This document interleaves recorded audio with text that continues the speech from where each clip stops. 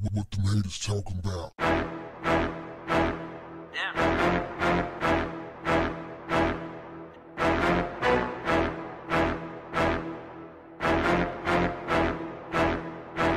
What's up, family? The New York Daily News posted an absolutely savage cover of Donald Trump on his Twitter page late Thursday.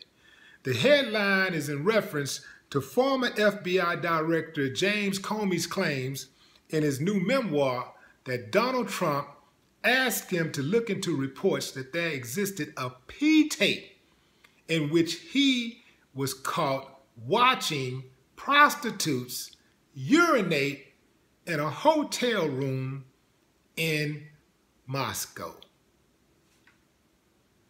The President of the United States is a peeping Tom. He's watching prostitutes urinate.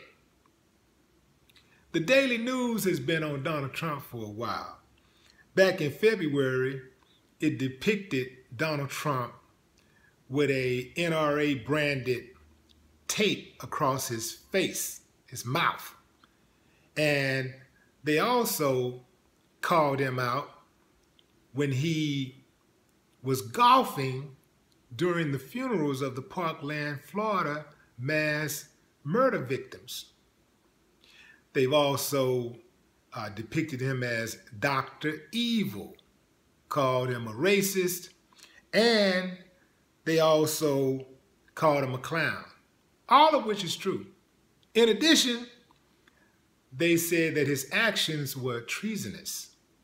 Man, high five, high five for the New York Daily Times. They got it right, man. When your own hometown newspaper drag you, it's something wrong with you. Especially when you gain notoriety and you become the president of the United States of America and you get dragged by your own hometown newspaper, that lets you know something really is wrong with you. Because typically, the hometown newspaper is going to ride with you. They're going to be proud of you. Like, I have a good relationship with my hometown newspapers.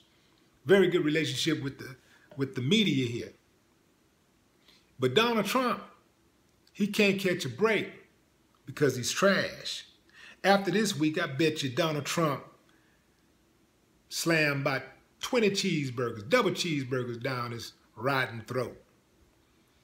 Since Trump has been in office, the news has been rated PG.